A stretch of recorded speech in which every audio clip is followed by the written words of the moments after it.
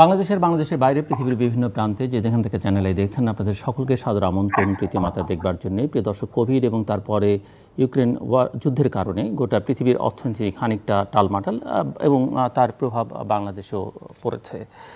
কিছুটা বৈশ্বিক পরিস্থিতি, কিছুটা অভ্যন্তরীণ পরিস্থিতি, এর জন্য দায়ী বলে অর্থনীতিবিদদের বা অর্থনীতি বিশ্লেষকদের অনেকেই মনে করেন। এরই মধ্যে আগামী অর্থ বছরের জাতীয় বাজেট আগামী সংসদ সংসদের আগামী অধিবেশনে আগামী নয় জুন উত্থাপিত হবে এবং মাস শেষে আলোচনার পর্যালোচনা শেষে সেটি হয়তো সংসদে অনুমোদিত হবে। বাংলাদেশের অর্থনীতির হালচাল নিয়ে কথা বলবার জন্য আমার সঙ্গে স্টুডিওতে রয়েছেন বাংলাদেশ আওয়ামী লীগের শিল্প বাণিজ্য বিষয়ক সম্পাদক এবং Bangladesh garments manufacturers and exporters association বিজিএমের সাবেক সভাপতি সিদ্দিকুর রহমান। এবং আমাদের সঙ্গে ঢাকার নিজ বাসভবন থেকে যুক্ত হচ্ছেন বাংলাদেশ অর্থনীতি সমিতির সাবেক সাধারণ সম্পাদক এবং জনতা ব্যাংকের প্রাক্তন চেয়ারম্যান ডক্টর জামালউদ্দিন আহমেদ। স্বাগত আপনাদের দুজনকে তৃতীয় মাত্রায়। মিস্টার সিদ্দিকুর রহমান, একটু আপনার কাছ থেকে শুনতে চাই যে পরিস্থিতির একদিকে মূল্যবৃদ্ধি নিত্য প্রয়োজনীয় দ্রব্যের, অন্যদিকে ডলারের সংকট, ডলারের বিপরীতে টাকার মানের অবনয়ন, সব বিলিয়ে আসলে দেশের অর্থনীতি কোন দিকে প্রবাহিত হচ্ছে বলে মনে হয়, তার গতি প্রকৃতিকে বলে মনে হচ্ছে। ধন্যবাদ আপনাকে। ধন্যবাদ তৃতীয় মাত্রার দর্শকদেরকে। আমি মনে করি যে বাংলাদেশের অর্থনীতি এখনও অনেক দেশের থেকে আমরা ভালো অবস্থানে আছি, কিন্তু তারপরেও আমরা ঘুমিয়ে থাকলে চলবে না। আমাদেরকে কোথায় কোন জায়গায় হাত দিতে হবে, কোথায় কি কাজটা করতে হবে, সেই কাজটা কিন্তু সরকার করছে এবং মাননীয় প্রধানমন্ত্রী কিন্তু ইতিমধ্যেই নির্দেশনা দিয়ে কিছু কিছু জায়গায় নির্দেশনা দিয়েছেন। এবং সেই অনুযায়ী কাজ হচ্ছে। তবে পৃথিবীর সব জায়গায় কিন্তু ইকোনমিক কন্ডিশন একই অবস্থা। সব জায়গায় ইনফ্লেশন আছে, সব জায়গায় ডলার বা ইউরোর দাম বেড়েছে ডিভলিউশন সব জায়গায় হয়েছে। তো সবচেয়ে বেশি দেখেন, দুই বছর আমরা কোভিডের মধ্যে কাটালাম। মাত্র অর্থনীতি ঘুরে দাঁড়ানোর চেষ্টা করছিল সারা পৃথিবী। সেই জায়গার মধ্যে আবার ইউক্রেন যুদ্ধ, যেটা আপনি বললেন যে ইউক্রেন এবং রাশিয়ার যুদ্ধ আমাদেরকে এমন এক জায়গায় নিয়ে যাচ্ছে যে হয়তোবা যদি এটা আরও প্রলং করে তাহলে হয়তো আমাদের দেখা যাবে যে বিশ্বে আমরা দুর্ভিক্ষ দেখা দিতে পারে। এবং সেটা দুর্ভিক্ষ দেখা দিলে কারা সবচেয়ে বেশি ক্ষতিগ্রস্ত হবে? আমাদের মতো দেশগুলোই। খাদ্য সংকট দেখা দিতে পারে খাদ্য সংকট অবশ্যই ফুড সিকিউরিটি কিন্তু অনেক জায়গায় এখন অনেক সমস্যা আছে যার জন্য ইউক্রেন এবং রাশিয়া দুই দুই দেশেরই প্রেসিডেন্টরা কিন্তু একত্রে বসতে সম্মত হয়েছে এবং আপনার আজকে বলেছে যে রাশিয়া ইউক্রেনের খাদ্য খাদ্য ইয়ে, গম এবং অন্যান্য জিনিস এক্সপোর্ট করার জন্য সহায়তা করবে। এবং সেই আবেদন জানিয়েছে কিন্তু জার্মানি এবং ফ্রান্স। তো এই যে একটা অবস্থা এই অবস্থাটার মধ্যে আমি মনে করি জার্মানি এবং ফ্রান্স শুধুমাত্র এই খাদ্যদ্রব্য তাদেরকে এক্সপোর্ট করার জন্য দেওয়ার জন্য আবেদন না করে যুদ্ধটা বন্ধ করার কীভাবে ব্যবস্থা করা যায় সেই জিনিসটা করা উচিত। তা না হলে এই সাধারণ মানুষকে এইভাবে জিম্মি করে এই যুদ্ধের কোনো অর্থ আছে বলে আমার কাছে মনে হয় না। তবে আমাদের দেশে আমরা মনে করি যে আমরা হয়তো যে অবস্থার মধ্যে একটা টালমাটাল অবস্থার মধ্যে যাওয়ার সাথে সাথেই কিন্তু সরকার এবং বাংলাদেশ ব্যাংকের গভর্নর এবং অর্থ মন্ত্রণালয় তারা কিন্তু একটা অ্যাকশন নিয়েছে এবং তারা আজকে ডলারের রেট ফিক্স করে দিয়েছে। এটা আমি মনে করি যে হ্যাঁ ডলারের কিন্তু যেভাবে ফিক্স করা হয়েছে ফিক্স করে তো অফিসিয়ালি কোনো আদেশ দেওয়া হয়নি সেই অর্থে। অফিসিয়ালি সেটি না দিলে ব্যাংকগুলো যে মানবে তার কি গ্যারান্টি আছে? অফিসিয়ালি আদেশ না দিলেও ব্যাংকের লাইসেন্স দেওয়ার অথরিটি কিন্তু বাংলাদেশ ব্যাংক তো বাংলাদেশ ব্যাংকের যে কোনো কথা কিন্তু ব্যাংকগুলো মানতে বাধ্য। না কিন্তু সেক্ষেত্রে অফিসিয়ালি অর্ডারটা দিতে সমস্যা কোথায় ছিল? এই নির্দেশনা তো অনেক ক্ষেত্রেই ব্যাংকগুলো মানে না আমরা জানি। অফিসিয়ালি অর্ডার দিতে কি অসুবিধা সেই জিনিসটা আমার জানা নেই। তবে আমি মনে করি ব্যক্তিগতভাবে যেহেতু ব্যাংকের লাইসেন্স নিতে হয় বাংলাদেশ ব্যাংক থেকে এবং তারা যেহেতু রেগুলেটরি অথরিটি তাদের দিতে কেন অসুবিধা সেই জিনিসটা আমি জানি না বা বুঝিও না। তবে তারা যেটা বলেছে আমি মনে করি আজকে যেমন আজকে আমার কাছে খবর হলো যে বিভিন্ন ব্যাংক তারা মেনেছে। এবং মনে করেন আমরা আমি তো এক্সপোর্ট করি। তো আমি এক্সপোর্ট করি এক ব্যাংকে আমরা আগে যে কোনো ব্যাংকে আমরা ডলারটা বিক্রি করতে পারতাম। আজকে কিন্তু সেটা অন্য কোনো ব্যাংক রাজি হয়নি নিতে। তো সেই জন্য যে ব্যাংকেরটা সেই ব্যাংকে সেই রেটেই আমাকে বিক্রি করতে হয়েছে। তার মানে ব্যাংকগুলো এখন মান, মানতেছে। এই মানাটা কতদিন তারা ধৈর্য ধরে রাখবে, সেটাও একটা প্রশ্নের বিষয়। তবে আমার মনে হয় এই সময়ে দেশের কথা চিন্তা করে সবারই বিবেচনা করা উচিত যে কোনটা ভালো, কোনটা মন্দ। দেশের জন্য যেটা ভালো, সেটাই করা উচিত। এবং আমি মনে করি যে এটা সরকারের একটা সঠিক সিদ্ধান্ত এই সময়ে আমাদেরকে তো দেশকে রক্ষা করতে হবে আগে। তো সেই জন্য আমরা এই টালমাটাল অবস্থার মধ্যে আমি মনে করি যে আমাদেরকে এই কাজগুলো করে যেতে হবে। এটা শুধুমাত্র যে আজকে একটা অর্ডার দিল আর হয়ে গেল, এটা ফলো আপও করতে হবে মনিটর করতে হবে বাংলাদেশ ব্যাংকের উচিত হবে রেগুলারলি মনিটর করা রেগুলারলি বাজার থেকে খবর নেওয়া। আমরা সাধারণ মানুষের কাছ থেকেই খবর নিতে পারবে। এক্সপোর্টার যারা আছি, আমরা তাদের কাছ থেকে খবর নিতে পারবে যে কোথায় কি হচ্ছে। তো সবার কাছ থেকে খবর নেওয়া, খবর কোনোটা লুকানো থাকে না। এই ডিজিটালাইজেশনের যুগে আপনার কোনো কিছু আপনি ঘরে বসে একা একা করব, এটা তো হবে না। এটা সবাই জানে। তো অতএব আমার মনে হয় ব্যাঙ্কগুলো অবশ্যই এটা মানবে। আসব আমি আপনার কাছে। আবার ডক্টর জামালউদ্দিন আহমেদ, আপনি শুনছিলেন এবং আমি আপনার কাছে একজন অর্থনীতিবিদ হিসেবে একটু জানতে চাইব যে পরিস্থিতির মধ্য দিয়ে যাচ্ছে। এমন কথাও কেউ কেউ বলছে যে বাংলাদেশ কি শ্রীলঙ্কা হবে কি না বা শ্রীলঙ্কার পথে যাবে কিনা। যদি অনেকেই মনে করেন সেই বাংলাদেশকে ঘিরে ওই আশঙ্কা করবার কোনো কারণ নেই। কিন্তু দক্ষিণ এশিয়ার আমরা অন্যান্য দেশ, পাকিস্তানের দিকে যদি তাকাই, নেপালের দিকে যদি তাকাই, পরিস্থিতি খুব একটা সুখকর বা সন্তোষজনক নয়। তো এই পরিস্থিতি যে অবস্থার মধ্যে যাচ্ছে, সাধারণ মানুষের জীবন অনেক ক্ষেত্রেই নাবিশ্বাস, তার নিত্য প্রয়োজনীয় দ্রব্যমূল্য যেভাবে লাগামহীনভাবে বেড়ে চলেছে, প্রতিটি পণ্যের মূল্য, সেখানে দেশের অর্থনীতির গতি প্রকৃতি কি বলে মনে হচ্ছে আপনার কাছে? এবং এর জন্যে কোভিড কতটা দায়ী, কতটা রাশিয়া, ইউক্রেনের যুদ্ধ দায়ী, আর কতটা অভ্যন্তরীণ ব্যবস্থাপনা বা গভর্নেন্স দায়ী, সেটা একটু বুঝতে চাই আপনার কাছ থেকে। এবং ডলারের মূল্য যেভাবে বাড়ছে এবং ডলারের সংকটও যেভাবে আছে সব মিলিয়ে শুনতে চাই যে আপনি কীভাবে দেখেন। দেখুন, সারা বিশ্ব এখন আপনার ওই যে দ্বিতীয় বিশ্বযুদ্ধের পর এই যে কোভিড একটা দুই বছরে আপনার আমাদেরকে অনেক ক্ষতিগ্রস্ত করেছে। তারপরে এখন রাশিয়া, ইউক্রেনের যুদ্ধ। এখন এইগুলার যে কিউমুলেটিভ রেজাল্ট এই রেজাল্টটা এসে ওয়ার্ল্ডের যে ফাইন্যান্সিয়াল সিস্টেম সুইপ সিস্টেমটা মেসেজিং এটাও কিন্তু এখন পলিটিসাইজ হচ্ছে। সেই ক্ষেত্রে বলতেছে যে রাশিয়ার থেকে সুইপ সিস্টেমে রাশিয়া কোনো টাকা পয়সা লেনদেন করতে পারবে অথবা কিছু কিছু দেশের আছে রেস্ট্রিকশন দিয়ে দিচ্ছে। এই যে ওয়ারটা it is a also economic war turning into economic war এই এই পরিস্থিতিতে সারা দুনিয়ার পরিস্থিতিটাই কিন্তু একটা টালমাটাল। সেই পরিস্থিতিতে আপনার জিনিসপত্রের দাম বিভিন্ন জায়গায় অস্থিতিশীল হচ্ছে। এবং কারেন্সি ডিভলিউশনটা আপনার প্রথম আইটেম হিসেবে আমি সিদ্দিক ভাইয়ের পয়েন্টটা ধরে আমি আলাপ করতে চাই। সেটা হলো যে একটা দেশ হলো দেশ হলো, দেশের স্বার্থ হলো সর্বোচ্চ এবং Bangladesh bank is the independent institution আমি, সিদ্দিক ভাই বা অন্য কেউ, আমরা যেটা আমাদের মন মতন, আমরা আমাদের স্বার্থের, প্রত্যেকে আমরা যেটা বলি, আমাদের নিজস্ব স্বার্থ সেখানে জড়িত আছে। যেমন ইম্পোর্টাররা মনে করে যে ডিভলিউশন তার জন্য ক্ষতিকর। আবার এনবিআর চিন্তা করে যে ইম্পোর্টের দাম যদি বাড়ে, তাহলে আমি ডিউটি কালেকশনটা আমার বাড়বে। এই জন্য এই স্বার্থটা কারেন্সি ডিভলিউশনের ইম্প্যাক্টটা ইন ইম্পোর্ট এক ধরনের ইন্টারেস্ট ইন এক্সপোর্ট আরেক ধরনের ইন্টারেস্ট এক্সপোর্টের ক্ষেত্রে যারা এক্সপোর্টার ওনারা লাভবান হচ্ছে। আবার ইম্পোর্টের ক্ষেত্রে ইম্পোর্টাররা লাভবান হচ্ছে না, কারণ তাদের খরচ বেশি যাচ্ছে ফাইন্যান্সিয়ালি সেই ক্ষেত্রে কস্ট বাড়ার সম্ভাবনা আছে প্রাইসের কম্পিটিশন আছে। তারপরে আবার আপনার ফরেন কারেন্সি ব্যাংক দেশের যে ফরেন কারেন্সি লোন আছে, সেই লোনের লাইবিলিটি কিন্তু বাড়তেছে। এখানে কিন্তু তাদের জন্য ক্ষতিকর, তারা এটা চায় না যে কারেন্সি ডিভলিউ হোক। আবার কারেন্সি ডিভলিউশনের ফলে রেমিটেন্স যারা করতেছেন বিদেশ থেকে আমাদের যে প্রবাসী ভাইয়েরা, সেখান থেকে আপনার যে টাকাটা আসতেছে, তারা বেশি বাংলা টাকা, বেশি টাকা পাচ্ছেন। এই জন্য ওনারা খুশি। এবং যারা হুন্ডির ব্যবসা করে, তারা আরও খুশি। তারা আরও খুশি কারণ হলো আপনার বেশি রেটে একশো মানে সাতাশি টাকা যেখানে সরকারি রেট সেখানে আপনার সাতানব্বই, একশো, দুই টাকা পর্যন্ত একবার উঠে গেছে। তারপরে আর এক গ্রুপ খুশি আছে, এটা মানে বিভিন্ন রিসার্চ এই পর্যন্ত যতগুলো হয়েছে, সেখানে দেখে যে গ্রুপ হার্ট হয়েছে কারা, ক্ষতিগ্রস্ত হয়েছে কারা যার তাদের একটা বিরাট লিস্ট আছে। আবার যেই গ্রুপটা লাভবান হচ্ছে, তারা কারা? যেমন আপনি ধরেন যে এই ডিভলিউশনের কারণে দেখা গেছে যে আপনার যে ফরেন ডাইরেক্ট ইনভেস্টমেন্ট যেটা, সেটাতে কিন্তু একটা পজিটিভ ইম্প্যাক্ট আছে। সেখানে যদি তারা এখন বাংলাদেশে এসে ইনভেস্ট করে, তখন আপনি এক ডলারেতে বাংলাদেশি একশো টাকার কাছাকাছি জিনিসের একটা বেনিফিট তারা পাবে। এখন থেকে পনেরো দিন আগে যদি করতো, তাহলে সেটা হয়তো সাতাশি টাকা পাইত।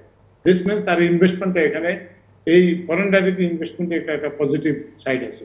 কারেন্সি ডিভলিউশনের ইম্প্যাক্ট ফরেন লোনের উপরে আপনার নেগেটিভ ইম্প্যাক্ট এটা এটা হলো এটা ন্যস্ত এই জন্য সেন্ট্রাল ব্যাংক একটা কিন্তু মূল্যস্ফীতির ক্ষেত্রে এটা কতটা আসলে যারা লাভবান হবে আপনি বলছেন তারা না মূল্যস্ফীতি এটা ভেরি ইন্টারেস্টিং পয়েন্ট সেটা হলো মানে বিপরীতে যদি দেখি আপনার জিনিসপত্রের দামও বাড়লো আমি একটা ডলার এক ডলার সাতানব্বই আটানব্বই একশো টাকা বিক্রি করলাম। মূল্যস্ফীতির ক্ষেত্রে শহরে যারা থাকে শহরের লোকের ক্ষতিটা বেশি হবে। কারণ ইম্পোর্টেড আইটেমের উপরে যারা ডিপেন্ড আর যারা আমাদের দেশে প্রডিউস জিনিসের উপরে ডিপেন্ডেন্ট সেই ক্ষেত্রে তাদের কিন্তু এটা এফেক্ট তারা লাভবান হবে। যে যেমন আপনার আমাদের দেশে উৎপাদিত চাল শাকসবজি যেগুলো আছে ধান এই সমস্ত জিনিস আমরা যেটা আমাদের এখানকার নিত্য প্রয়োজনীয় ভিতরে যে সমস্ত জিনিস আছে আমরা আমাদের এখানে যে উৎপাদিত হয় সেটা আমরা মানে এখানে লাভবান এই ব্যবহার ক্ষেত্রে সেই ক্ষেত্রে শহরে বসবাসরত একটা মানে উপরের আয়ের, উচ্চ আয়ের লোকজনের মানে আপনার যা- যারা ইম্পোর্ট বেস জিনিস বেশি ব্যবহার করে ওনাদের জন্য ক্ষতি, ক্ষতিকর ইয়ে হবে। আবার গ্রামের দিকে যারা থাকে, তাদের জন্য শুধু মানে আপনার খাদ্য জাতীয় জিনিসের ক্ষেত্রে যেগুলো ইম্পোর্ট বেসড সেটা তারা ওই ধরনের দামি জিনিস কিনে না। দেশে উৎপাদিত জিনিসপত্র তাদের ব্যবহার করে সেক্ষেত্রে তাদের জন্য এটা ইম্প্যাক্ট এগুলার বহু গবেষণা হয়েছে। কারণ আমার পিএইচডি থিসিসটা ছিল এইটার উপরে। এখন আমি ছাব্বিশ বছর আগে ডিগ্রি করার পরে এখন একটা সুযোগ পাইছি এই কথাগুলো শেয়ার করার। এর আগে তো কেউ জিজ্ঞাসা করেনি। এখন প্রবলেম হওয়ার কারণে আমরা এটা শেয়ার করার সুযোগ পাইছি। তো সেটা এই যে এফেক্টটা এখানে আপনার এই এফেক্টটা হবে এবং এটা সারা দুনিয়াতে হচ্ছে। যুদ্ধের কারণে যে পরিস্থিতিটা হচ্ছে এখানে মোস্ট ইম্পর্টেন্ট হলো যেটা ফাইন্যান্সিয়াল সিস্টেমের উপরে যে ইম্প্যাক্ট সেটাতে আরও ক্ষতি হওয়ার সম্ভাবনা আছে। যেমন সুইপ সিস্টেম যদি সুইপ সিস্টেম যদি রাশিয়ার জন্য বা যারা তেল রপ্তানিকারক, তাদেরকে যদি এখানে যদি কোনো ঝগড়া লাগে এবং ইন্টারন্যাশনাল যে বৃহৎ শক্তি যারা, তাদের মধ্যে যে দ্বন্দ্ব এখন প্রচলিত এখন যে দ্বন্দ্বগুলো আছে, সেই দ্বন্দ্বের কারণেও কিন্তু আমরা ক্ষতির শিকার। আমাদের দোষে না। এবং আমরা আমরা গরিব ডেভেলপিং কান্ট্রি হিসাবে আমাদের যে কাজ, আমাদের সেটা হবে যে আমরা আমাদের ইন্টারনাল রিসোর্সকে যত রকমের বাড়াইতে পারি, সেই ক্ষেত্রে আমাদের জন্য এটা একটা সুযোগ। আর বাংলাদেশ, শ্রীলঙ্কার কথা যেটা বলছেন শ্রীলঙ্কার সাথে বাংলাদেশের তুলনায় এই সমস্ত ইন্ডিকেটর যেগুলা স্ট্রাকচার অফ ইকোনমি ডিফারেন্ট এবং সেখানে আপনার তাদের দেশে যে ইম্পোর্ট বেস জিনিসের বেশি ডিপেন্ডেন্ট তারা। আমাদের দেশে ইম্পোর্টের বেসের মধ্যে আমরাও তো আমদানি নির্ভরই দেশ। আমরা আমরা আমদানি নির্ভরশীল কোনগুলা? এসেনশিয়াল প্রোডাক্টের মধ্যে পেট্রোলিয়াম তারপরে আপনার এই যে সয়াবিন তেল এই দুটা ছাড়া অন্যগুলা কিন্তু আমাদের অত আমদানি গমও আমরা আমদানি করি। কিন্তু এটার পরিমাণ কম এবং বাংলাদেশের লোক গমের মানে ব্যবহার কম্পারেটিভলি কম। সেই ক্ষেত্রে আমরা এটার জন্য ক্ষতিগ্রস্ত বেশি ক্ষতিগ্রস্ত হব আবার এক্সপোর্টের ক্ষেত্রে আমাদের যে গার্মেন্টস ইন্ডাস্ট্রি হলো আপনার eighty four percent of the market share ইয়ে টোটাল এক্সপোর্ট এক্সপোর্ট এখানে গার্মেন্টসে গার্মেন্টসে আমরা উই আর হেড যেই কারণে একটু একটু আমরা মিস্টার সিদ্দিকের কাছেও শুনতে চাইব যে এইটি ফোর পার্সেন্ট হচ্ছে এক্সপোর্টের শেয়ার ইম্পোর্টের শেয়ার কতখানি তাদের? সেটা একটু শুনতে চাইব পরে আমি আসছি আপনার কাছে। এই এই- এই কম্পোনেন্টের ভিতরে। হ্যাঁ সেটা ইম্পোর্ট আছে এটা কত কম্পোনেন্ট আমরা এখানে ভ্যালু এডিশনটা কত হচ্ছে সেটা একটা important issue hmm. Important issue সেই প্রাইসে আপনার এক কম্পিটিটিভনেস যেতে বাংলাদেশ কিন্তু এখনও পর্যন্ত একটা স্টেবল কমতির দিকে আছে। যেহেতু আমরা একটা উপরের ইয়েতে আসছি পার্সেন্টেজ আমাদের কম। কিন্তু আমাদের যে ইম্পোর্ট আমরা যেমন লেবার এক্সপোর্ট করি, আবার লেবার আমরা ইম্পোর্টও করি। ইম্পোর্টে ইম্পোর্টে করে যে ফরেন ওয়ার্কার যারা কাজ করতেছে, এখানে আইনি, বেআইনিভাবে, তারা কিন্তু এই টাকাগুলো কিন্তু মানে everybody is not taking the money in a legal way এবং সেই ক্ষেত্রে আমাদের এই রিসোর্সটা চলে যাচ্ছে। যেটা সেখানেও কিন্তু আমরা মাইনাসে আছি।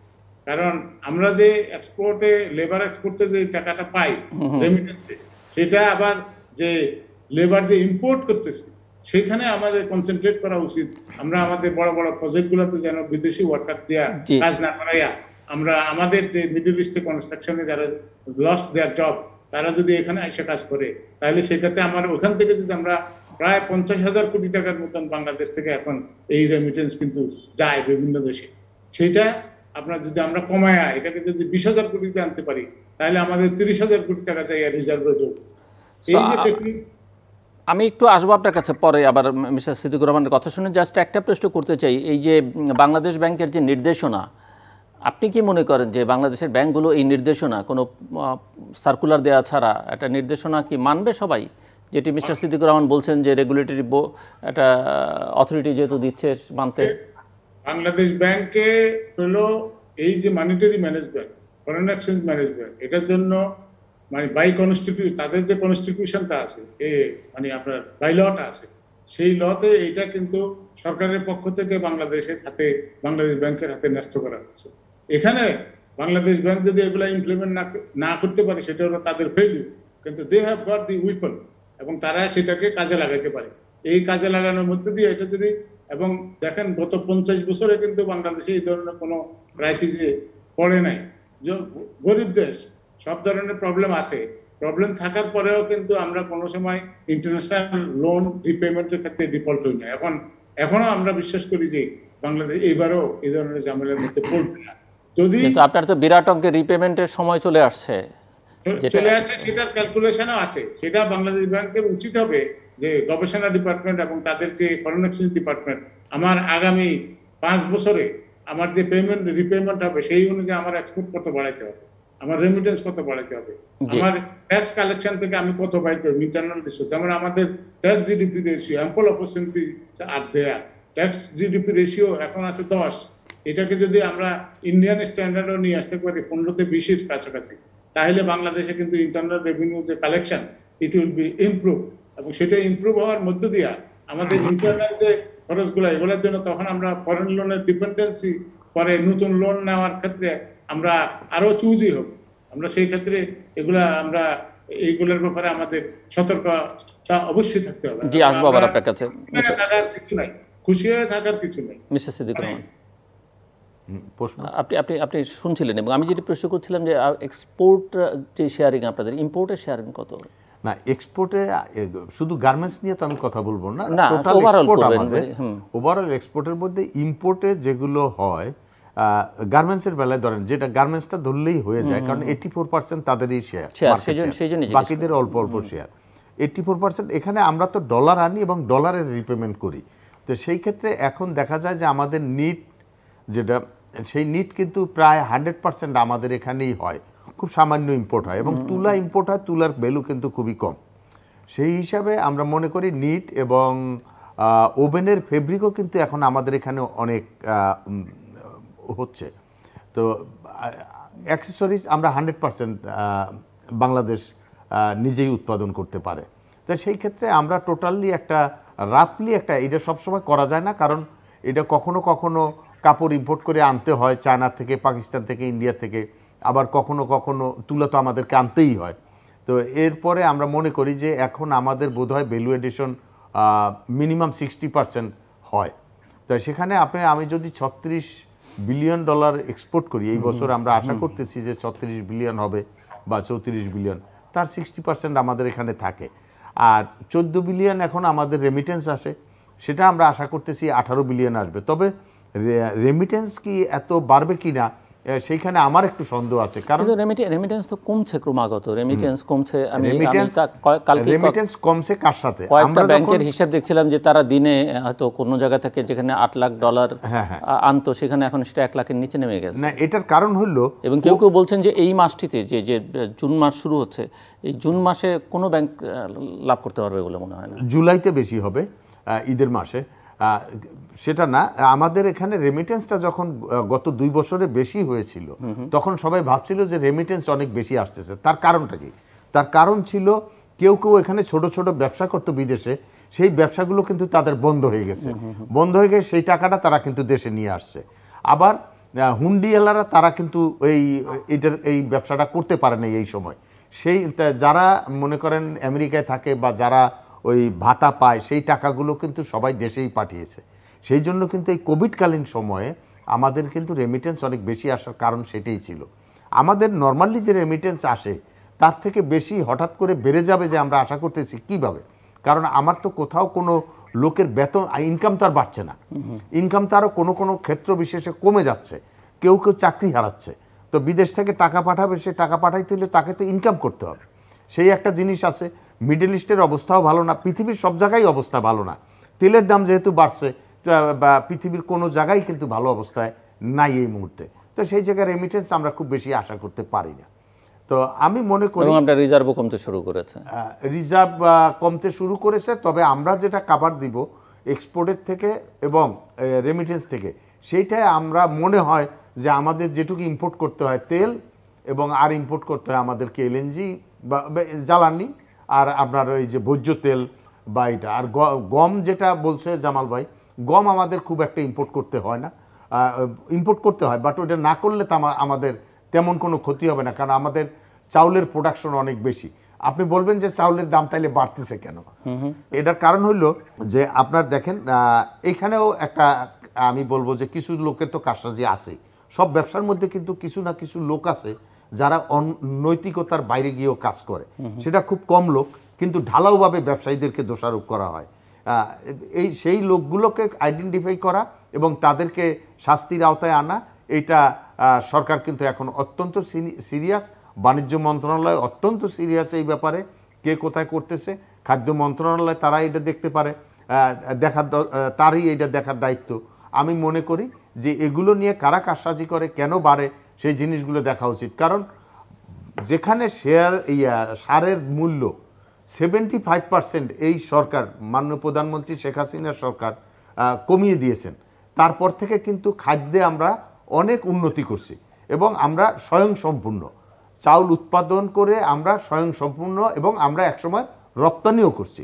তা আমাদের জনসংখ্যা তো ডেইলি বৃদ্ধি পাচ্ছে আমার জায়গা তো বেশি বৃদ্ধি পাচ্ছে না। তাহলে আমার রাস্তা কি? রাস্তা হলো আমাকে উৎপাদন বৃদ্ধি করা এবং যেসব জায়গায় এই আমাদের কৃষি পণ্য হয়, সেই সব জায়গা যাতে আমরা নষ্ট না করি। এটা কিন্তু মাননীয় প্রধানমন্ত্রী ন- প্রতিনিয়ত এই কথাটা বলে যাচ্ছেন। এবং সেই অনুযায়ী কিন্তু সব ডিপার্টমেন্টও কাজ করছেন বাংলাদেশের জনগণও কিন্তু সেইভাবে কাজ করতেছে। যতটা উৎপাদন বৃদ্ধি করা যায় আভ্যন্তরীণ খাতে, সেটাই হলো আমাদের জন্য লাভজনক। এবং আমরা নির্ভরশীলতা শুধুমাত্র তেলের উপরে জ্বালানির উপরে, আর হলো আপনার ভোজ্য তেলে কিছুটা। তা ভোজ্য তেলের ব্যাপারে মাননীয় বাণিজ্যমন্ত্রী ইদানিংকালে বলেছেন যে উনি রাইস ব্র্যান্ড তেল উৎপাদন করবে। তা সেইটা নিয়ে গবেষণা হচ্ছে। আমরা যদি রাইস ব্র্যান্ড তেল উৎপাদন করতে পারি তাহলে কিন্তু আমাদের অনেক গুণে ফিফটি পার্সেন্টের উপরে কিন্তু আমরা আমাদের নিজেদের উৎপাদন করতে পারব। তখন আমাদের আমদানি শুধুমাত্র জ্বালানি তেল এবং এই এই ভোজ্য তেলের একটা অংশ। এছাড়া কিন্তু সরকার ইদা- ইতিমধ্যেই নিরুৎসাহিত করতেছে যেগুলো আপনার বিলাসবহুল বিলাসবহুল জিনিসপত্র যাই আছে এগুলো কিন্তু এই মুহূর্তে এমনিতেও যারা আনে তাদেরও আনা উচিত না এবং ব্যাংকেরও কোনোভাবে এলসি করা উচিত না। কারণ আপনাকে এখন এই করতে হবে কি দেশের কথা ভেবে দেশ কীভাবে ঠিক রাখা যায় কারণ দেশের যদি কোনো কোনো ক্ষতি হয় তাহলে তো আপনি আমি সবাই এর বাইরে না। তো অতএব সেই জিনিসগুলো কিন্তু ব্যবসায়ীদেরকে আমাদেরকেও বোঝা উচিত যে এই জিনিসগুলো এখন আমাদের কি প্রয়োজন আছে কি না আনার প্রয়োজন আছে কি না আমি এখন এই ডলার আমার যেহেতু ক্রাইসিস সারা পৃথিবীতে এই সময় আমি এগুলো নষ্ট করব কি না তো সেই জিনিসটা আমার মনে হয় আমাদের দেশের মানুষ অত্যন্ত সচেতন, বা দুই চারজন বা কিছু মুষ্টিমেয় লোক যদি অনৈতিকভাবে কিছু করতেও চায়, তারপরেও আমার মনে হয় সাধারণভাবে মানুষ এগুলো করবে না। এবং সরকার এগুলো অ্যালাউ করবে না, যেটা নির্দেশনা দিয়েছে বাংলাদেশ ব্যাংক যে নির্দেশনাগুলো দেয় সেগুলো সবাইকে মানতে হবে। সব ব্যাংককেও মানতে হবে। এটা বললে হবে না যে ব্যাংক কি মানতে বাধ্য কিনা।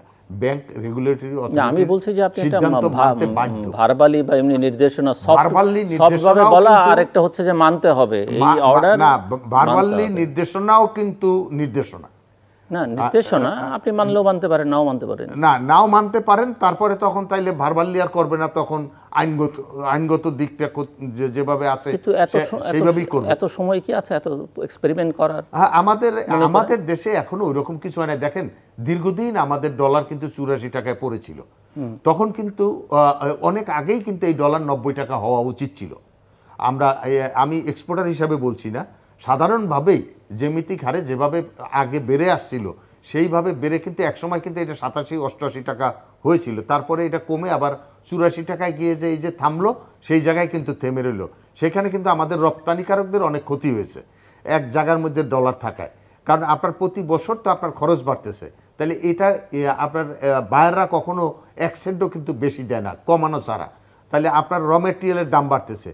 সেই জন্য বায়ারের উপরে চাপ থাকে, র মেটেরিয়ালের চাপটা থাকে। আমাদের চাপ থাকে, আমাদের আভ্যন্তরীণ যে খরচগুলো আছে সেটা এবং আমাদের শ্রমিকদের বেতন।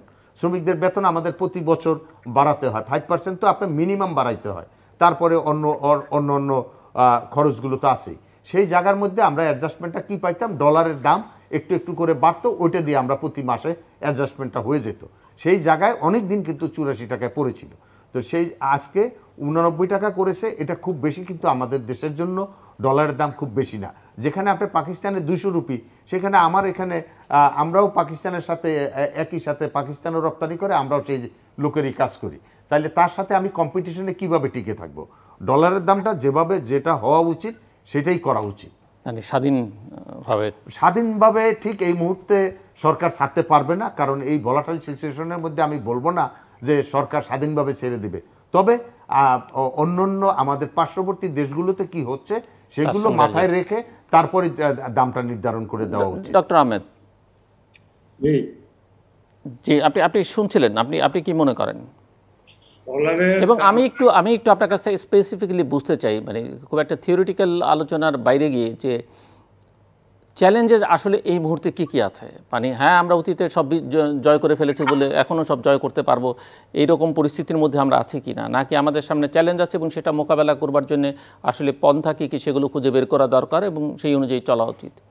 আপনার কারেন্সি ডিভ্যালুয়েশনটা যখন হয়, একটা বিয়ন্ড কন্ট্রোলে যখন চলে যায়, তখন সেটাকে সেটাকে বলা হয় কারেন্সি ক্রাইসিস যেমন থাইল্যান্ড, ইন্দোনেশিয়া, তারপরে কোরিয়া। কোরিয়া এরা একটা নাইনটিন নাইনটি এইট নাইনটি সেভেনের দিকে যে ক্রাইসিসে পড়ছিল এগুলার হঠাৎ করেই ধরেন আমাদের এখানে ওই সম্ভাবনা কম কারণ তাদের ওখানে যখন বিদেশি ইনভেস্টমেন্ট ছিল স্টক এক্সচেঞ্জে হিউজ সেই স্টক এক্সচেঞ্জে যখনই কারেন্সি পড়া শুরু হলো এদের রিজার্ভ কমা শুরু হলো তখন ফরেন যে ইনভেস্টর যারা তাদের কিন্তু ওই টাকাগুলো তারা কিন্তু উঠাই নিয়ে গেছে মার্কেট থেকে। সেই কারণে এর এদের ধস আরও আহ, আপনার সি- আরও কাছাকাছি হয়ে গেছে। আমাদের এখানে যেহেতু এটার কিন্তু আমাদের এখানে ফরেন ডাইরেক্ট ইনভেস্টমেন্ট যে কম এই পরিস্থিতিতে আমাদের এখান থেকে বাইরে যাওয়ার সম্ভাবনা কম। যেহেতু ফরেন ইনভেস্টমেন্ট এখানে কিন্তু ওই ভলিউমে আগে ছিল না। যেমন স্টক মার্কেটেও নাই অন্যান্য জায়গায় যেগুলো আছে এটা পরিমাণ খুব কম। এবং সেটা আরেক দিকে আরেকটা লাভজনক দিক হলো যে এখন তারা যদি ফরেন ইনভেস্টমেন্ট নিয়ে আসে, এটা তাদের জন্য উপযুক্ত সময় নিয়ে আসলে বাংলাদেশে বেশি পরিমাণ বাংলাদেশি টাকা পাবে এবং সেটা দিয়ে তারা এখানে তাদের যে ইনভেস্টমেন্ট সেটাকে তারা করতে পারবে।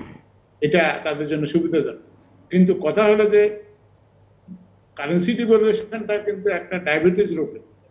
এটা কিন্তু কোনো সময় ফাইনালি এটার যে ইম্প্যাক্ট এটা কোনো কোনো দেশ কোনো সময় এখনও পর্যন্ত আপনার এটাকে ইরিডিকেট করতে পারে না কিন্তু আপনাকে ভেরি কেয়ারফুল ম্যানেজমেন্টের মধ্যে দিয়ে, যেমন আপনি একটা গাড়ি চালানোর সময় আপনার ব্রেন চোখ, কান, হাত, পা, প্রত্যেকটা জিনিস ড্রাইভারের কিন্তু আপনার কনস্ট্যান্টলি ইয়েতে থাকতে হবে থাকে, তারপরে সেই সামনের দিকে দেখে পাবলিক মুভমেন্ট করতেছে কীভাবে, ওটা করতেছে কীভাবে, সেটা দেখে। দেখে তারপরে গাড়িকে সে চালায়।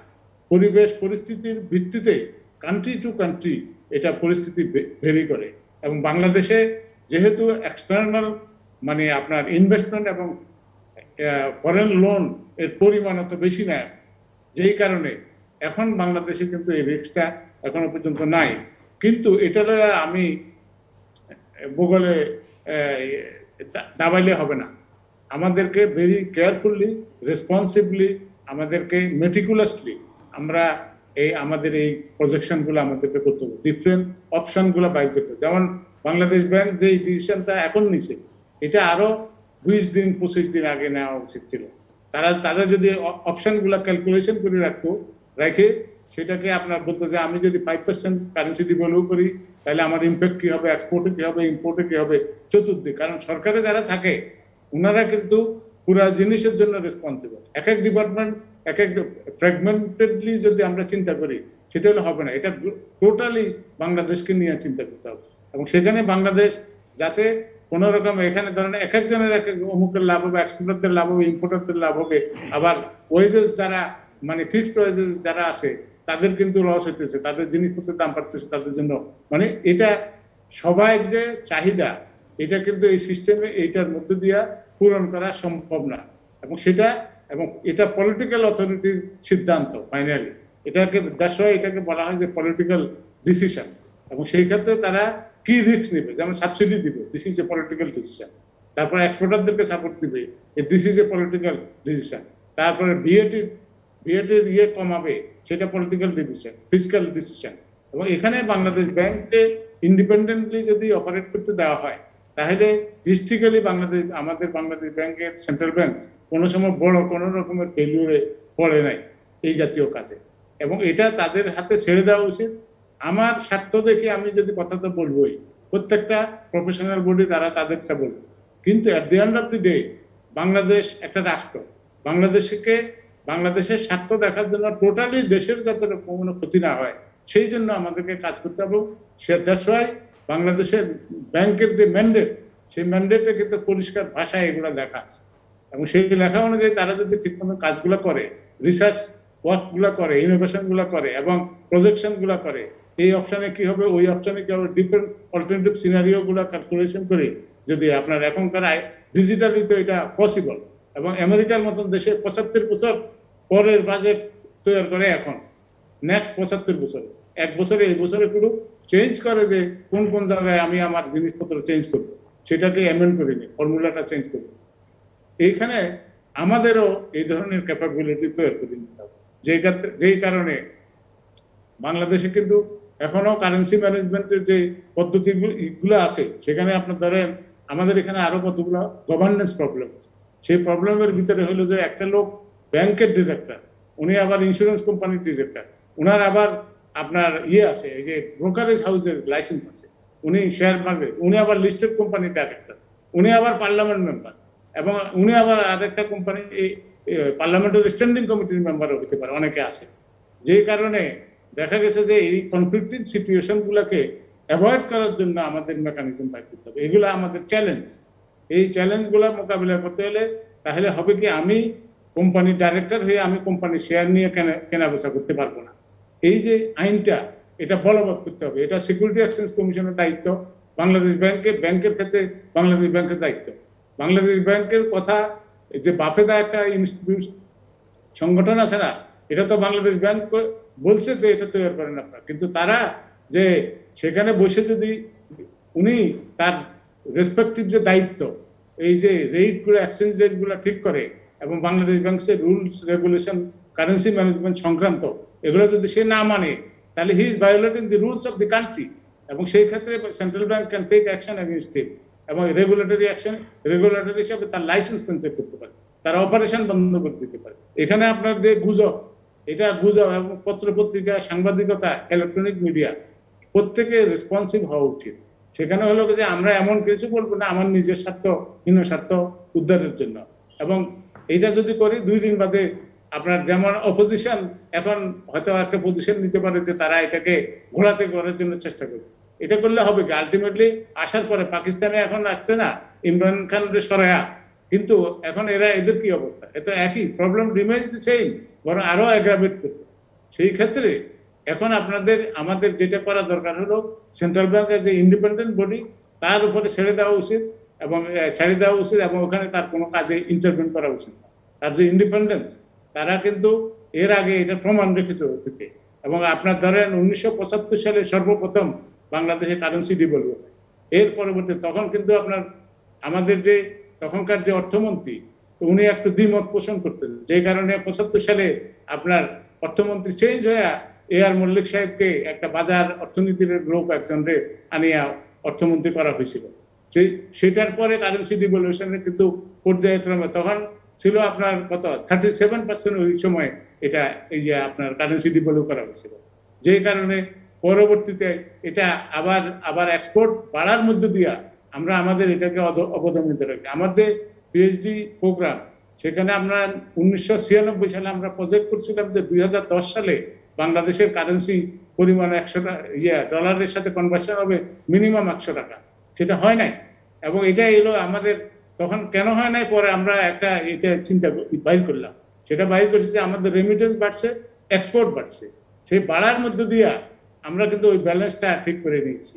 তো এই যে পদ্ধতির মধ্য দিয়ে এটা সারা বিশ্বব্যাপী এটা ওই যে বললাম যে ডায়াবেটিসের মতন এই ডায়াবেটিস রোগ কিন্তু পার্মানেন্ট একটা রোগ। এই রোগকে আপনি ম্যানেজ করতে আপনাকে কন্টিনিউয়াসলি কন্টিনিউয়াসলি নিয়মের মধ্যে দিয়ে থাকতে হবে। অনিয়মের কোনো কিছু সুযোগ আপনি দিতে পারবেন।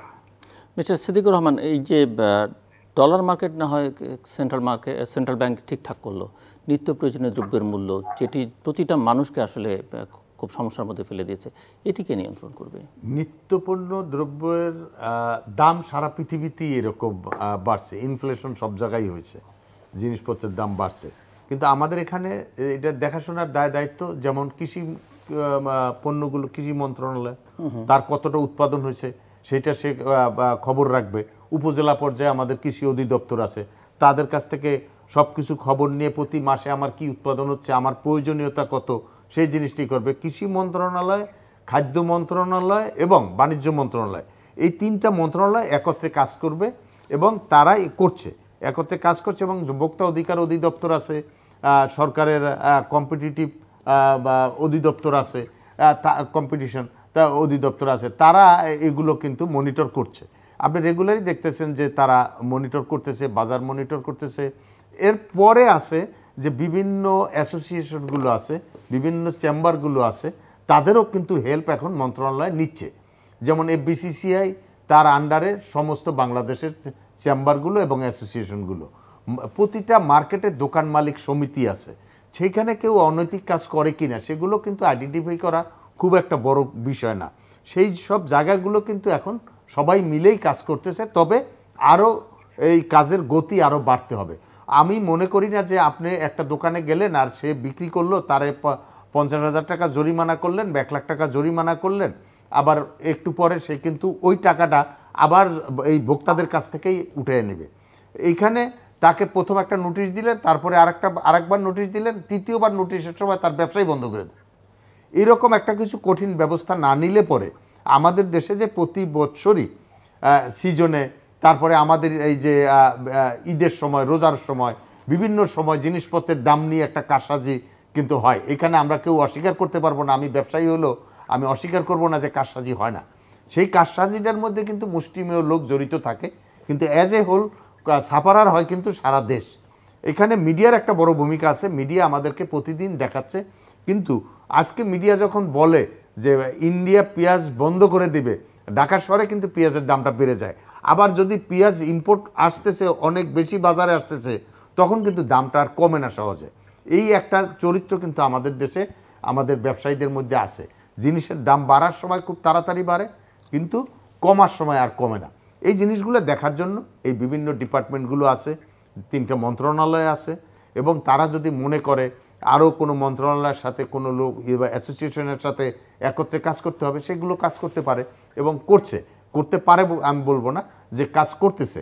আগের থেকে কিন্তু অনেকটাই এখন স্টিম লাইনে আসছে যে কীভাবে কি করতে হবে এবং তারা তিনটা মন্ত্রণালয় একত্রে কাজ করে সারা দেশে আমার বছরে কতটুকু কত টন চাউল লাগে, কত টন গম লাগে, কত টন অন্য অন্য খাদ্যদ্রব্য লাগে, পেঁয়াজ পেঁয়াজ একটা পেরিসেবল আইটেম যেটা নিয়ে আমরা প্রতি বছরই ভোগান্তিতে পড়ি। এটা পেঁয়াজ আপনার ইন্ডিয়ার থেকে যে আনি আমরা শুধু বেনাপোল পর্যন্ত আসতেই ছয় দিন সময় লাগে। তো এই ছয় দিনের মধ্যে অনেক পেঁয়াজ তো পচেও যেতে পারে। তো এই সময় এই যে সব কিছু নিয়ে যে আমরা আবার বলতে পারব যে কারসাজি হচ্ছে এই হচ্ছে তা না। যে যে লোক আনতেছে সেই লোকও তো ব্যবসার জন্য আনতেছে। তো সেই তার যদি ওখানে পচে যেয়ে থাকে বেশি তাহলে তো দাম একটু বেশি সে নিতেই চাইবে। বাজারে শর্ট পড়লে পরে আর এই বর্ষ এখন বর্তমানে যে ওয়ার্ল্ড ওয়াইড যে চিত্রটা সেটা হলো আসলে মানুষের চাহিদা এবং সাপ্লাই এই সাপ্লাই থেকে ডিমান্ড অনেক বেশি। এই ডিমান্ডটা বেশি হওয়ায় কিন্তু সব জায়গায় দামগুলো অস্বাভাবিকভাবে বেড়েছে। এটা কিন্তু শুধুমাত্র এই মানুষের কারসাজির জন্য না। যখন যে কোনো জায়গায় যদি ডিমান্ড বেশি থাকে সাপ্লাই চেইন কম থাকে সাপ্লাই যেমন কত দুই বছরে অনেক জায়গায় অনেক কিছু উৎপাদিত হয়নি, সেই জিনিসগুলো তো হঠাৎ করে যখন খুলে গেছে, তখন এই ডিমান্ডটা বাড়ছে মানুষের। কেনাকাটার জিনিসটা বাড়ছে। আপনি দেখবেন আমেরিকার মতো উন্নত দেশেও আপনার যখন একটা কোনো আপনার বন্যা হবে বা কোনো ঝড় হবে যখন একটা বলে, তখন কিন্তু আপনি দেখবেন যে তাদের ডিপার্টমেন্টাল স্টোরগুলো পুরো খালি হয়ে যায়। এটা শুধু বাংলাদেশে না যে মানুষজন হতাশ হয়ে তাড়াতাড়ি জিনিসপত্র কিনে নিয়ে রাখে। এটা পৃথিবীর প্রায় সব জায়গায়। সে মনে করে যে আগামী এক মাসের খাবার দাবার আমি ঘরে রাখি যাতে আমার কোনো সমস্যা না হয়। এটা সব জায়গায়। এই শুধুমাত্র যে বাংলাদেশ হয় তা না, তো বাংলাদেশের একটাই সুবিধা, সেটা হলো বাংলাদেশের এখনও আশি পার্সেন্ট লোক কিন্তু এই বড় বড় শহরের বাইরে থাকে। তো এই লোকগুলোর কিন্তু অত ডিমান্ডও নাই এবং তাদের যে ডিমান্ড, সেগুলো কিন্তু তারা নিজেরাই ফুলফিল করতে পারে। সেই জন্যই কিন্তু আমাদের একটা বড় সুবিধা যে এইখানে মুষ্টিমেয় লোকের পিছনে কিন্তু সরকারকে কাজ করতে হয়। বিভিন্ন, আপনি ওয়াসার পানি কতজন ব্যবহার করে? আপনি বিদ্যুৎ এখন আমরা না হয় ঘরে ঘরে পৌঁছে দিছি। কিন্তু বিদ্যুৎ আমাদের আছে সেই জন্য তা বিদ্যুৎ যখন ছিল না, তখন কি গ্রামের মানুষজন চলছে না? চলছে। তাহলে আসলে কতগুলো লোকের পিছনে আমাদের এই সরকারের বা কাজ করতে হয়, সেটা কিন্তু পার্সেন্টেজ হিসাবে ধরতে গেলে খুব কম। টোয়েন্টি পার্সেন্ট লোকের বেশি কিন্তু এই সুযোগ সুবিধাগুলো পাচ্ছে না। আবার সরকার যেটা মাননীয় প্রধানমন্ত্রী নিজে নির্দেশনা দিয়েছেন যেটা সেটা খুবই ভালো উদ্যোগ। যেমন এক কোটি লোককে আপনার নিত্যপণ্য যেগুলো আছে সেগুলো তাদেরকে সহজলভ্য করার জন্য তাদেরকে একটা প্রাইসে মানে ভর্তুকি মূল্যে তাদেরকে দেওয়া হবে। দেওয়া হচ্ছে। আগেও দিয়েছে এখনও এখনও আবার দিবে। অতএব এইখানে যদি প্রয়োজন পড়ে তাহলে ওই লোকগুলো সাফারার কে হয়? এই জিনিসপত্রের দাম বাড়ায় কিন্তু সাফারার হয় একেবারে নিম্ন শ্রেণির লোকরাই সবচেয়ে বেশি। তাদেরকে সরকার বিভিন্নভাবে কিন্তু সহযোগিতা করে যাচ্ছে। তো সেই জায়গার মধ্যে আমি মনে করি না যে আমাদের দেশের লোক খুব বেশি একটা সাফার করবে এই ভোগ্যপণ্য নিয়ে। ডক্টর জামালউদ্দিন আহমেদ কি মনে করেন? আমাদের যে মানে দ্রব্যমূল্য নিয়ে মানুষের মধ্যে যে অস্বস্তি অসন্তোষ আছে সেটা কি দ্রুত কমে যাবে? এরকম কোনো উদ্যোগ বা পদক্ষেপ বা পরামর্শ? দ্রুত কমার সম্ভাবনা আপনার যুদ্ধ শেষ না হওয়া পর্যন্ত আপনার এটা বলা ঠিক হবে না। এটা কিন্তু তবে বাংলাদেশে কিন্তু বাংলাদেশের দ্রব্যমূল্যের ঊর্ধ্বগতি কিন্তু যুদ্ধের আগ থেকেই শুরু হয়েছে। যুদ্ধের আগ থেকেই এবং বাংলাদেশে যে উল্টা কারণ সেটা হলো যে আপনার বলল যে ব্যাট কমায় দিলে দাম কমবে। কিন্তু দেখা গেল যে ব্যাট কমানোর পরেও দাম কমে তার মানে কি? চাঁদাবাজি আবার যেমন ধরেন আবার যেমন ধরেন বাংলাদেশে রাজস্ব আহরণের জন্য দেখা যাচ্ছে যে দাম বাড়িয়ে দেওয়া হচ্ছে। আর প্রতিবেশী ভারতে দেখি আমরা দাম কমিয়ে যেমন তেলের মূল্য কমিয়ে দিয়েছে মদের মূল্য কমিয়ে দিয়েছে সবকিছুর মূল্য কমিয়ে দিয়ে প্রচুর রাজস্ব আহরণ করছে। আপনার এর ব্যাখ্যা কি? না এটা রাজস্ব প্রচুর মানে কি? আপনার ধরেন ইম্পোর্টেড আইটেমের রাজস্ব তো এনবিআর এর একটা লাভ আছে তো। সেই লাভ হলো ইম্পোর্টেড আইটেম যখন ডিভ্যালু হয় তখন তো ইম্পোর্টের ভ্যালু দাম বাড়িয়ে যায়। তখন এই যে পনেরো পার্সেন্ট আপনি যখন অ্যাপ্লাই করবেন তখন সে কিন্তু তার রেভিনিউ টোটাল রেভিনিউ টোটালে বেড়ে যাবে। কারণ ইম্পোর্টেড আইটেমের দাম তো দশ ডলার যেটা ছিল, এখন যদি সেটা আপনার সেই দশ ডলারই থাকে, কিন্তু আমাদের টাকা তো ডিভ্যালু হয়ে গেছে। সেই কারণে আমাকে বেশি রিসোর্স বাংলাদেশ থেকে যাচ্ছে। এই প্রাইসটা ইয়ে ভাগটা তো আপনার মানুষের যারা ক্রেতা, তাদের গাড়ি করতেছে তো, এবং এনবিআর এর লাভ হলো, ওই ইনক্রিজ ভ্যালুর উপরে ইনভয়েসের মধ্যে যে ভ্যালুটা আছে, তারা তো ওই ভ্যালুর উপরে এই না এখানে এইটা এইটা করলে কিন্তু জামাল ভাই লাভজনক কিছু না। এনবিআর এর এই এই হ্যাঁ, বিষয়টা না। এনবিআর এর যেটা কাজ এনবিআর এর যেটা করা উচিত সেটা হলো ট্যাক্সের নেটটা বাড়ানো। ট্যাক্সের হ্যাঁ। আওতায় এখন উপজেলা লেভেলে আরও আরও নিচে গিয়ে থানা লেভেল পর্যন্ত বহু লোক ট্যাক্স দিতে পারে। সেই জিনিসটাই আমরা এখন পর্যন্ত ট্যাক্সের নেটটাই আমরা বাড়াইতে পারছি না। এইটাই আমাদের সবচেয়ে বড় দুর্বলতা হলো এনবিআর রিসোর্সটা আপনার আমাদের যে ডিজিটালাইজ যদি করে তাহলে রেট এখন থেকে কমায়ও আপনি কিন্তু ট্যাক্স বেশি আদায় করতে পারবেন। কারণ এটা চায়না সুইডেন তারপর আপনি ডিজিটালাইজ করার কথা বলছেন ডিজিটালাইজেশন করা তো দুই হাজার বারো থেকে যখন আপনার এই ব্যাট আইন নতুন করে করা শুরু হইল তখন থেকে এই ডিজিটাল করার কথা। সেই কাজটা তো আমরা এখন পর্যন্ত করতে পারি নাই। এটা এনবিআর করতে পারেন নাই মানে কি এনবিআর এটা চায় না? যে কারণে আপনার হয় নাই কারণ হবে না কেন? অন্য কেউ যদি কোনো কিছু না চায় সেই জন্য তো বন্ধ থাকবে না সেটা তো আমাদেরকে করতে হবে। তাইলে এই জন্য করা লাগবে এবং সেটা আপনার ধরেন ক্যাশলেস সোসাইটি আপনি চায়নাতে যান আপনি কিউআর কোডে আপনি দিলেন ট্রানজাকশন ট্রানজাকশনের উপরে ট্যাক্স হচ্ছে। এবং ট্যাক্সের রেট হলো কম। তবে আমার আমার আমার এখনও দুঃখ হয় একটা জিনিসে যে আজকেও আমরা এই যে ব্রিজগুলোর উপর থেকে যখন মানুষ পার হয় আপনাকে টোল দিতে হয়। কেন আমরা এই টোলটা অটোমেশন করে দেই না? এই হ্যাঁ, কথাগুলো আমাদের বলা উচিত। আপনার একটা হলো যে ওইখানে যানজট সৃষ্টি হয় আর একটা হলো যে ঠিক টাকাটা সরকারের ঘরে পৌঁছে কিনা। এই জিনিসগুলো কারণ আপনি এখন পর্যন্ত যেই আহ, এ, দোকানদার আছে যাদেরকে আপনি ইসিআর মেশিন দেওয়ার কথা আজ পর্যন্ত আমরা চার হাজার ইসিআর মেশিন দিছি। এটা তো কোনো কিছু না। এখন আমার এই দোকানে ইসিআর মেশিন দিচ্ছেন আমি ব্যাটটা ঠিক মতো দিচ্ছি আমার কাছ থেকে তো আরেকজন কিনবে না। পাশের দোকানে তো যাই ওর ইসিআর মেশিন নাই ও ওই ব্যাটের ব্যাটটা বাদ দিয়ে তো ও বিক্রি করতেছে। তাহলে এই যে জিনিসগুলো এই জিনিসগুলো অ্যাকচুয়ালি আমাদেরকে যদিও এটা বলা বড় কঠিন তারপরেও আমি বলব যে এই কাজগুলো আমাদেরকে অবশ্যই দ্রুততার সাথে করতে হবে এবং এগুলো করলেই আমরা কিন্তু সব জায়গায় যদি আমরা ইয়ে করি তাহলে আমাদের বাংলাদেশ কিন্তু খুব দ্রুততার সাথে এগিয়ে যেতে পারে। এখানে সবার সহযোগিতা দরকার এবং আন্তরিকতা দরকার। যা যে যারা যারা যার যার যে কাজটা সেই কাজটা তার করা উচিত। সেই কাজটা আমাদের এখানে হচ্ছে না। যেমন এনবিআর এর এই দীর্ঘদিন ধরে আজকে আপনিও বলতে পারবেন জামাল সাহেব উনি অর্থনীতিবিদ ছিল অর্থনীতির ইয়ে সেক্রেটারি ছিল, উনি জানেন যে এই কাজগুলো অনেক আগের থেকে করার কথা, কিন্তু এই কাজগুলো আমাদের হয়নি, কারণ আমরা করছি না। আমরা আজকেও ব্যাটার ইয়ে টোল আদায় করি, আমরা ফিজিক্যালি টোল আদায় করি। কেন? পৃথিবীর কোথাও ফিজিক্যালি এইভাবে টোল আদায় করে না। পৃথিবীর কোথাও এইভাবে ক্যাশে নেয় না। নেয় না এবং এই টাকা গভর্নমেন্টের এক্সচেকারে জমা হয় না। আমরা দাবি করছিলাম যে পাঁচশোটা উপজেলায় আপনার ট্যাক্সের মানে আপনার ইয়ে যে উপজেলা বিল্ডিং করা হয়েছে অরিজিনালি প্ল্যান ছিল যে মিনিস্ট্রির এখনও নয়টা মিনিস্ট্রি ওখানে কাজ করে, কিন্তু অনেকগুলা মিনিস্ট্রি কাজ করে, কিন্তু ন্যাশনাল বোর্ড অফ রেভিনিউর কিন্তু ওখানে অফিস নেই। তার মানে এটি this is the vital marketing organisation গভর্নমেন্টের রেভিনিউ কালেকশন করার জন্য। তাদেরকে, তাদের ব্রাঞ্চ কিন্তু ওখানে নাই, এবং আপনি দেখেন এই বাংলাদেশের যে টোটাল ট্যাক্স রেভিনিউ কালেকশন হয়, তার সিক্সটি ফোর পার্সেন্ট কালেকশন হয় ঢাকা নারায়ণগঞ্জ গাজীপুর এই তিনটা মানে ইয়ে ইয়ে কর্পোরেশন না আপনি সহজ বাংলায় বলেন যে যারা ট্যাক্স দিয়ে আসতেছে শুরুর থেকে তারাই এখন পর্যন্ত দিয়ে যাচ্ছে। নেটটা কখনো বাড়ানো হচ্ছে না। আর আমি কিন্তু দোকানে যেয়ে যখন জিনিসপত্র কিনি আমি ব্যাট দেই সেই ব্যাটটা কি আদৌ সরকারের কোষাগারে যায় কিনা এইটা কিন্তু একটা বড় Sure. সন্দেহ।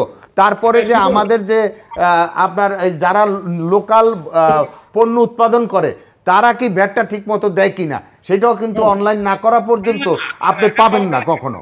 তো এইখানে এই যে ব্যান্ডল পদ্ধতি, এই ব্যান্ডল পদ্ধতি কতটা কার্যকর, কতটা জায়গায় কার্যকরী হচ্ছে সেটাও আমাদের দেখার বিষয়। তবে আমি মনে করি, এখন সরকার অত্যন্ত সিরিয়াস বিশেষ করে মাননীয় প্রধানমন্ত্রী শেখ হাসিনা অত্যন্ত সিরিয়াস এই জিনিসগুলোর জন্য এবং ওনার নির্দেশনাও যে প্রতিটা জায়গায় যে যে জায়গায় যে ফাঁক আছে, সেগুলো কীভাবে তাড়াতাড়ি বা ঠিক করা যায় সেটা ঠিক করার জন্য। এবং এই জায়গার মধ্যে আপনারা যারা অর্থনীতিবিদ আছেন আপনা- আপনাদের মতো আপনারা এই সাজেশনগুলো দেন সরকারকে। লিখিত আকারে দেন দিয়ে সরকারকে দিয়ে এগুলো করে নেন। আরে এটা আমরা গত বারো বছর ধরে দিচ্ছি কিন্তু কাজ হচ্ছে না। কারণ আপনি তো ওখানে পাওয়ারে নাই। আমি খালি দিলে হবে না তো। আমি দিলে হবে না এটাকে ফলো আপ করতে হবে এটাকে বলতে হবে যে হ্যাঁ এই জায়গায় এই জিনিসটা করা দরকার। আমরা তো বলছি যে এই যে কালো টাকা উদ্ধারের জন্য ব্যবস্থা নেই। কালো টাকা বলতে কোনো টাকা নাই তো ভাই। হয় টাকা একটা হবে যে টাকার তো কোনো রং নাই। ভালো। হয় টাকা হবে যেটা ট্যাক্স দিয়ে বা আমার আইনগত দিকটা ঠিক আছে সেই টাকা আর না হলে আমি ট্যাক্স দেই নাই সেই টাকা। এখানে কালো টাকা আপনার- নেই। আপনারা কি মনে করেন? এই প্রশ্নটা এই প্রশ্নটা ডক্টর জামালউদ্দিন আমি করতে চাই সময় বেশি নেই। এই যে টাকা বাইরের থেকে ফেরত আনার যে সিদ্ধান্ত হয়েছে মানে আনার জন্য যেসব যে প্রশ্ন করা হবে না এই সিদ্ধান্তকে কি কতটা যৌক্তিক বলে মনে হয়? এটা এটা আপনি এটা অনেকটা নিরুৎসাহিত হবে এই পদ্ধতি। কারণ হলো যে টাকাটা পাচার করছে সে তো এখানে আনার জন্য কি পাচার করছে? তাকে আবার আমি যদি দেই তাহলে তো নেওয়াটা আরও পাচার করার জন্য অনেক লোক উৎসাহিত হবে। বলব যে আমি পরে প্রথমে এখানে একটা নেওয়ার ক্ষেত্রে উৎসাহিত হবে। আর এইটা কি কার্যকর হবে কি না কারণ আজকে হয়তো প্রশ্ন করা হবে না কিন্তু এই নিশ্চয়তা কি যে পাঁচ বছর পর সাত বছর পরে দশ বছর পরে দুদক কাউকে ধরবে না? না এই গ্যারান্টি তো কেউ দিতে পারতেছে। এই টাকাগুলো যদি আপনি উদ্ধার করে আনেন তাহলে আপনার আমার কথা হলো যে এটা আমাদের আমরা পিছনের কথা যেমন আপনার ধরেন পাকিস্তান বাংলাদেশের জন্য যে লোন নিগুলো নিছিল তখন এই দেন দরবারে ছিল। বঙ্গবন্ধু তখন বলছে যে আহ, পিছনে তুলা বাদ দাও। সামনে আমরা ঠিক মতন আমরা আমরা ওদের এটা এটা ফেরত আনার দরকার নেই। এটা আমরা ইয়ে করব। আমরা এখানে যেটা আছে, সেটা আমি prevention is better than cure আপনি, এখন আপনি সে নিতে দিবেন কেন? না দেওয়ার জন্য তাকে যদি আপনি যদি প্রতিটা এক্সচেঞ্জ হাউস এবং ব্যাংক এদের উপরে যদি সার্ভিলেন্স চালান, যে একটা কোম্পানি যারা টাকা মানে এই যে পিকে হালদার বলে, কেউ বলে পনেরো হাজার কোটি টাকা, কেউ বলে দশ হাজার কোটি টাকা, কেউ বলে ছয় হাজার কোটি টাকা, যাই নেই। হাজার কোটি টাকা তো একদিনে নেয় নাই। এবং এটা যে প্রসেস দিয়ে পার করছে কারা? তাদের গড ফাদার এটা তো আইডেন্টিফাই করতে হবে। এই গড ফাদার আইডেন্টিফাই করলে দেখা যাবে যে মোস্ট অফ দি কেসেসে চিহ্নিত কয়েকজন। এটা ওই যে ইয়ে, সিদ্দিক ভাই যেটা বলল যে সবাই তো আর আনএথিক্যাল না। এবং আনএথিক্যাল যে ব্যবসায়ীগুলো আছে এগুলোকে সবাই চিনে। এবং চিনে এটা নাম ধরার দরকার নাই। সেটা এমনিই কিন্তু মানে কার্যকলাপে সবাই জানে। সেই ক্ষেত্রে এই লোকগুলোকে তো আমরা কিছু করতেছি না। এখানে যে বিচারহীনতা এই বিচারহীনতার কারণে কিন্তু এগুলা হচ্ছে। এটাকে এখানে কিন্তু সঠিক ব্যবস্থা নিতে হবে। এবং সেখানে আপনার ধরেন যে কনফ্লিক্ট অফ ইন্টারেস্ট ক্ষেত্রে এই কনফ্লিক্ট অফ ইন্টারেস্ট যেটা সাংঘর্ষিক আমি ব্যাংকের ডাইরেক্টর আমি লোন নিলাম আরেক ব্যাংক থেকে আরেক ব্যাংক থেকে নিলাম সেই ব্যাংকের ডাইরেক্টরকে আমি লোন দিলাম। তার মানে কি? দুইজনে একজনে একজনের পিঠ চুলকেতেছে মোস্ট কেসেস এগুলো হয়েছে ডিফল্ট লোনের ক্ষেত্রে আপনি- মানে যারা মোস্ট কেসেসে না না আমার কথা হলো জামাল ভাই এগুলো হয়েছে এগুলো হচ্ছে আমরা জানি। এগুলো আমাদেরকে বন্ধ করতে হবে। আমি টাকা ফেরত আনার যে সিদ্ধান্ত টাকা ফেরত আনার বিষয়ে আমি বলতে পারব না যে কে আনবে না না আনবে। তবে সরকার একটা সুযোগ দিচ্ছে যদি কেউ এই সুযোগ নিয়ে যদি ব্যবহার করতে চায় তারা করতে পারে। তবে এই জিনিসটা আহ, কতটুকু কার্যকরী হবে আমিও জামাল ভাইয়ের সাথে একমত। নৈতিকতার প্রশ্ন আসে আ- অবশ্যই নৈতিকতার প্রশ্ন আছে সে পাচার করছিল কেন? একেবারে ট্যাক্স ছাড়া যদি আপনি তাকে এই টাকা আনতে দেন তাহলে ভবিষ্যতে তো যারা ট্যাক্স দিচ্ছে রেগুলার তারা কেন ট্যাক্স দিবে? আমি এই এই এইটা আমি বলব যে এটা ঠিক কার্যকরী কোনো পদক্ষেপ না। পদক্ষেপ হলো আমার টাকা পাচার হয় কীভাবে? হয় ওভার ইনভয়েস দিয়ে টাকা পাচার হইতে হবে। মুন্নির মাধ্যমে কিন্তু অত টাকা পাচার হয় না। ওভার ইনভয়েসটাই কিন্তু। এটা ব্যাংক কিন্তু যদি ব্যাংকগুলো খেয়াল রাখে ব্যাংকগুলোকে যদি সার্ভিলেন্সের আওতায় রাখে তাহলে কিন্তু এই টাকা পাচার হওয়ার কোনো সুযোগ খুব একটা নাই। সেই জায়গাটার মধ্যে মনিটর করা একান্ত দরকার। এখন বলবে যে যারা রপ্তানি করে তাদের দ্বারা তাদের দ্বারাও কিন্তু সম্ভব না। কারণ কোন দেশে কোন কাপড়ের কি দাম এটা কিন্তু একটা মোটামুটি ভাবে আপনি পাঁচ সেন্ট দশ সেন্ট করে বাড়াই দিয়া আপনি হাজার হাজার কোটি টাকা পাচার করতে পারবেন না। পাচার করতে হলে বড় বড় ইম্পোর্টের উপরে পাচার করতে হয়। তো সেই জিনিসগুলোর দিকে যদি সরকার নজর দেয় তাহলে আমি মনে করি যে এগুলো বন্ধ করা এখন বন্ধ করার সময় আসছে। কারণ আমাদের ইকোনমি বাড়ছে সাইজ বাড়ছে। এই সময় যদি টাকা পাচার হয়ে যায় এইভাবে তাহলে আমাদের দেশের যে ডেভেলপমেন্টের যে কাজগুলো মাননীয় প্রধানমন্ত্রী যে লক্ষ্যগুলো দিয়েছে দুই হাজার একচল্লিশে আমরা উন্নত বিশ্বে যাব ডেল্টা প্ল্যান দিয়েছে একশো বছর পরে কি হবে সেই কাজগুলো কিন্তু আমরা করতে পারব না যদি মানুষের সহযোগিতা না থাকে। এখানে অনৈতিক কাজ যদি আমি রেগুলারই করে যাই তাহলে তো হবে না। যে ডক্টর জামাল আর কিছু যোগ করবেন? এক এক দেড় মিনিটে। না যেটা দরকার আমাদের দরকার হলো যে এই যে যে আপনার আহ, লোকজন যে এটা পার্লামেন্টে যে এমপিরা যে পার্লামেন্টে যে স্ট্যান্ডিং কমিটির মেম্বার এখানে যায় তাদের ভূমিকাটা যে কোনো নিয়ম কানুনকে চেঞ্জ করার জন্য প্রথম সারা পৃথিবীতে সমস্ত পার্লামেন্ট গুলাতে পার্লামেন্টারি সিস্টেমে সেখানে পার্লামেন্টের স্ট্যান্ডিং কমিটিতে আসে। এখন এখানে দেখা যাইতেছে যে অনেকগুলো জিনিস স্ট্যান্ডিং কমিটি তো এখন বসেই না খুব একটা রেগুলার তাহলে এটা এটা কি হলো? না না ওইখানে ভাই ওইখানে এইরকম ব্যবসায়ী কয়জন পার্লামেন্টার বা সদস্য আছে। সেটাও আপনার বিষয় আছে। ঠিক এই যে আমরা এই পার্লামেন্ট পার্লামেন্ট বলে কোনো লাভ নাই। আমরা সাধারণ জনগণ যারা আমরা ব্যবসা করি বা যারাই আমরা এদেশে দেশে আসি তাদের সবাই নীতি নৈতিকতার বিষয় আছে। এবং শুধুমাত্র একজন দুইজন পাঁচজনের উপরে চাপাই দিলে তো হবে না। কে কি করে আমরা সবাই জানি। বিশেষ করে ব্যাংকগুলো এখানে খুব সিরিয়াস হইতে হবে। ফাইন্যান্সিয়াল সেক্টর যদি। স্ট্রং হয় ফাইন্যান্সিয়াল সেক্টর যদি তার জিনিসগুলো ঠিকমতো দেখে মনিটর করে শেষ- তাইলে আজকে কিন্তু এই অবস্থাটা হয় না। শেষ করতে হবে। ডক্টর জামাল আমি শেষ করব। জাস্ট দশ সেকেন্ডে যদি কিছু বলেন দশ পনেরো সেকেন্ড।